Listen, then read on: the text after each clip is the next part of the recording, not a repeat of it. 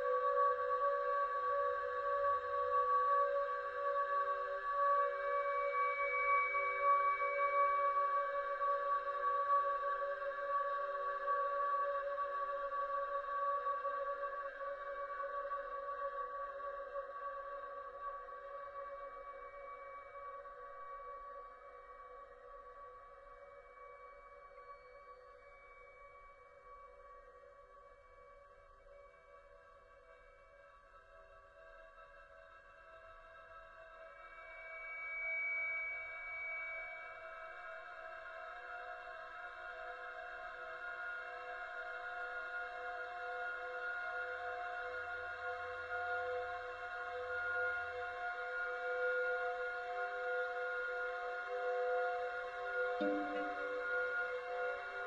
you.